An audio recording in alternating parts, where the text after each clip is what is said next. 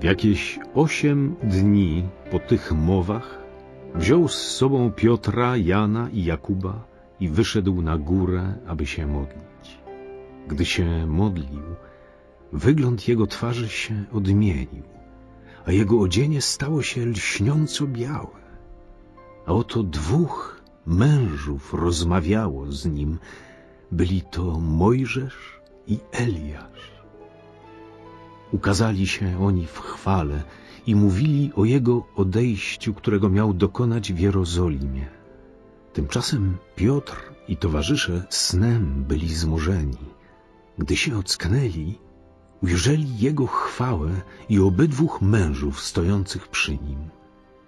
Gdy oni odchodzili od niego, Piotr rzekł do Jezusa, Mistrzu, dobrze, że tu jesteśmy. Postawimy trzy namioty, jeden dla Ciebie, jeden dla Mojżesza i jeden dla Eliasza. Nie wiedział bowiem, co mówi. Gdy jeszcze to mówił, zjawił się obłok i osłonił ich. Zlękli się, gdy tamci weszli w obłok. A z obłoku odezwał się głos. To jest Syn mój, wybrany. Jego słuchajcie. Chwili, gdy odezwał się ten głos, okazało się, że Jezus jest sam, a oni zachowali milczenie i w owym czasie nikomu nic nie opowiedzieli o tym, co widzieli.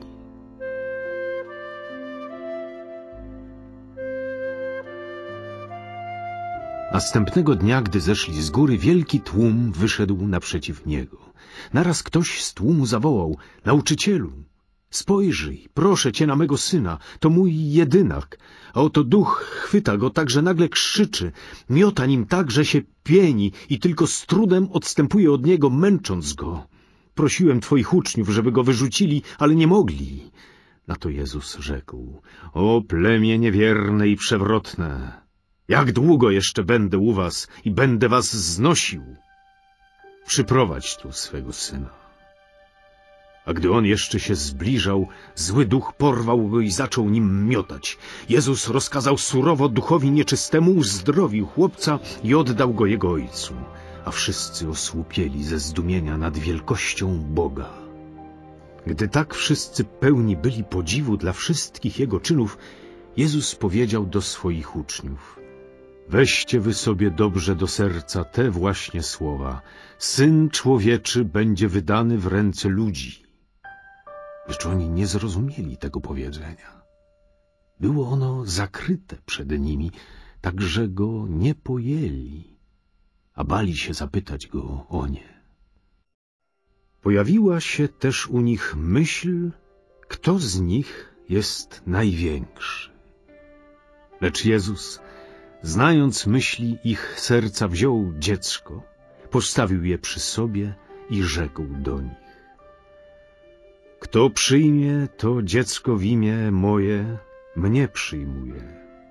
A kto mnie przyjmuje, przyjmuje tego, który mnie posłał. Kto bowiem jest najmniejszy wśród was wszystkich, ten jest wielki. Wtedy przemówił Jan. Mistrzu, widzieliśmy kogoś, jak w imię Twoje wypędzał złe duchy i zabranialiśmy mu, bo nie chodzi z nami. Lecz Jezus mu odpowiedział, nie zabraniajcie. Kto bowiem nie jest przeciwko wam, ten jest z wami. Gdy dopełnił się czas jego wzięcia z tego świata, postanowił udać się do Jerozolimy i wysłał przed sobą posłańców. Ci wybrali się w drogę i przyszli do pewnego miasteczka samarytańskiego, by mu przygotować pobyt.